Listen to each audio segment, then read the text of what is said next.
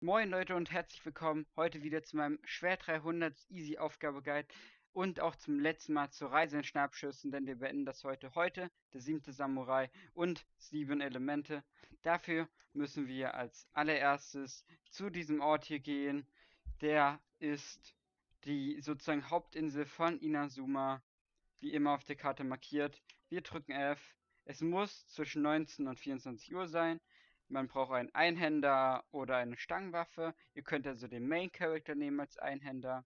Und wir müssen einen Standardgriff oder einen heftigen Schlag ausführen. Und das machen wir jetzt. Dann haben wir es auch. Sehr nice. Und weiter mit dem nächsten. Dafür müssen wir nämlich zu diesem Teleporter.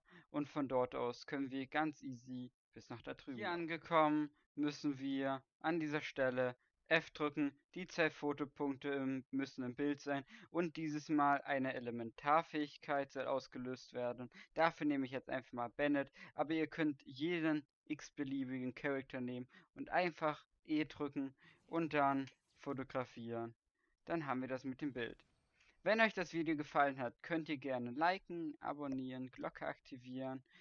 Das war's, wie gesagt, jetzt mit dieser Reihe. Ich, ich streame auch jeden Samstag um 18.30 Uhr. Würde mich freuen, wenn ihr mal vorbeischaut. Und ansonsten wünsche ich euch noch einen schönen Tag.